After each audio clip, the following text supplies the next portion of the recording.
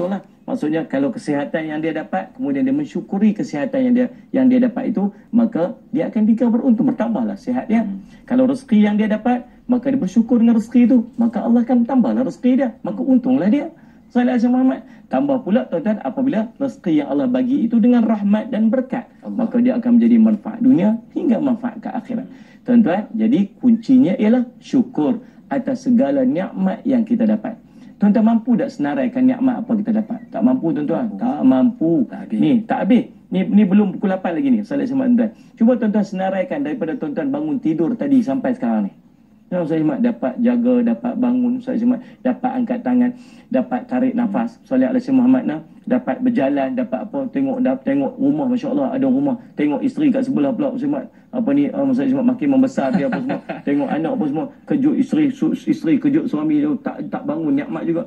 Semua ni nikmat-nikmat yang dia dapat yang kalau dia nak senarai semua nikmat dia tak mampu. Hmm. Maka Allah suruh buat apa? Syukur dengan segala nikmat. Tuan-tuan, macam mana cara untuk kita mensyukuri nikmat? Yang pertama, kita memuji Allah.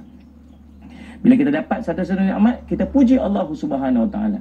Cumanya bila dalam keadaan kita memuji Allah ni, kita, kita bila kita dapat kita mampulah untuk puji. Dapat Ustaz ni saya hadiah ke Ustaz nak. Eh alhamdulillah, terima kasih. Ha, kita mampulah untuk kata alhamdulillah sebab kita baru dapat. Tetapi macam mana dengan nikmat-nikmat kita yang memang sedia ada dekat kita? Tangan kita ni nikmat tak? Hmm. Nikmat. Berapa hmm. kali kata Alhamdulillah dengan tangan nikmat yang kita dapat? Hmm. Salat Azimah, gaji pun sama. Dan yakin? Waktu mula-mula dapat gaji, pergi dekat ATM. Dapat gaji first. Oh, Alhamdulillah, syukur, gaji kita mau syukurlah. Sujud syukur atas ATM machine. Kemudian orang besar pula, dia kata, ah, nak dapat berkat daripada duit gaji ni, gaji pertama ni bawa pergi hantar balik kat mak. Oh, dia start Faida Pro balik ke kampung. Sampai-sampai kampung bagi kat mak, mak ni duit gaji pertama cek ni RM50 bagi kat mak. Oh mak dia pun bukan nak sangat duit tu. So nak cium, mm, mak pun cium duit tu apa semua simpan.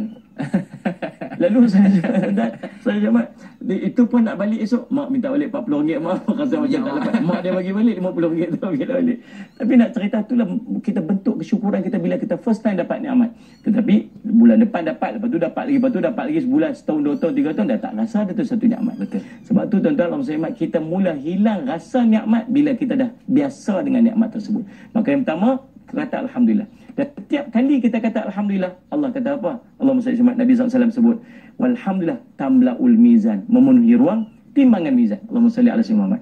Tuan-tuan, dan yang kedua, yang ketiga, kita sambung sebentar lagi. Kita sambung di TV